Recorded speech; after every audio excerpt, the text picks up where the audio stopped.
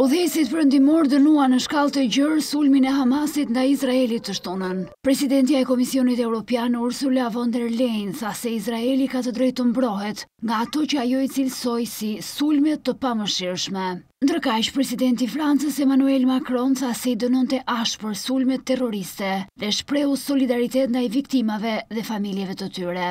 Po ashtu, kancelari i Gjermanisë, Olaf Scholz, u shpreh i tronditur nga sulmet dhe tha se Gjermania qëndron në krah të Izraelit. Ndërkohë, Britania e Madhe e dënoi ashpër sulmin e tmerrshëm. Ministri i Jashtëm, James Cleverly, tha se Britania do ta mbështesë gjithmonë të drejtën e Izraelit për t'u mbrojtur. Sulmet u dënuan edhe nga Shtëpia e Bardhë e cila tha se qëndronte në krah të qeverisë dhe popullit të Izraelit. Nuk ka asnjë justifikim për terrorizmin, tha zëdhënësja e Këshillit të Sigurisë Kombëtare, Adrienne Watson. Sekretari amerikan i Mbrojtjes Lloyd Austin tha se Pentagoni do të veprojë për t'i siguruar Izraelit gjithçka që i nevojitet për t'u mbrojtur.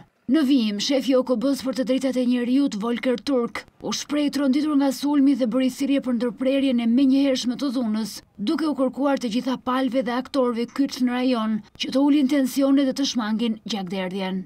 Po ashtu, Arabia Saudite u bëri thirrje të dyja palëve për ndërprerjen e menjëhershme të luftimeve, duke u kërkuar që të mbrojnë civilët. Në një deklaratë të Ministrisë së Jashtme thuhet se Arabia Saudite përsërit paralajmërimet e saj për rrezikun e përshkallëzimit të situatës, ndërsa si pasojë e pushtimit të vazhdueshëm, palestinezëve iu janë mohuar të drejtat e tyre dhe janë përballur me një sistem të vazhdueshëm provokimesh nga Izraeli. Arabia Saudite ka mbështetur për një kohë të gjatë palestinezët dhe ka bërë thirrje për zbatimin e një zgjidhjeje me dy shtete, bazuar në kufijtë e vitit një mijë e nëntëqind e gjashtëdhjetë e shtatë të Izraelit, ku Izraeli lindor të jetë kryeqyteti palestinez.